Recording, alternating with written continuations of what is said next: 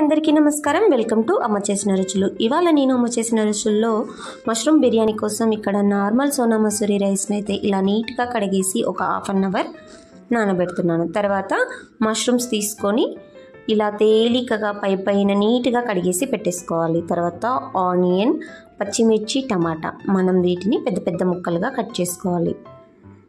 తర్వాత టమాటాని కూడా చాలా పెద్ద ముక్కలుగానే కట్ చేసుకోవాలి. నెక్స్ట్ వచ్చేసి మష్రూమ్స్ కూడా మనం ఇలా ముక్కలు ముక్కలుగా కట్ చేసుకోవాలి. టేస్ట్ మాత్రం చికెన్ బిర్యానీ లాగా చాలా సూపర్గా ఉంటుంది. తర్వాత మనం నెయ్యి కానివ్వండి నూనె ఏదైనా సరే.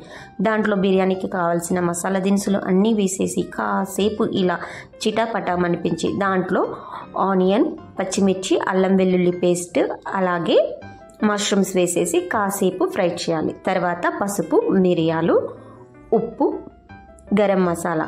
ఇది కూడా కాసేపు మనం ఫ్రై చేసుకోవాలి. అలా ఒక ఫైవ్ మినిట్స్ మగ్గిన తర్వాత కారపొడి టమాటా వేసేసి ఇది కూడా ఒక ఫైవ్ మినిట్స్ మగ్గనివ్వాలి. తర్వాత కొత్తిమీర పెరుగు కూడా వేసేసి దాంట్లో మనం నానబెట్టుకున్న బియ్యాన్ని ఉప్పు అలాగే ధనియాల పొడి వేసేసి కలుపుకోవాలి. బాగా కలుపుకున్న తర్వాత దీనికి సరిపడినన్ని నీళ్ళను పోసేసి మనం కుక్కర్ విజిల్ పెట్టేసుకుంటే వేడివేడిగా చికెన్ టేస్టీ లాంటి మష్రూమ్ బిర్యానీ రెడీ అయిపోతుంది. చూసారు కదా ఈ చిన్న వీడియో?